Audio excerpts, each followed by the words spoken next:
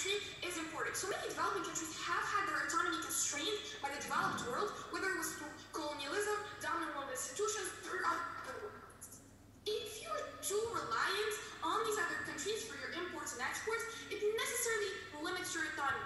How are you supposed to criticize another country if you're dependent on it, especially if you lack relatively little influence in the international community? Now, moving on to the second question. What side of the house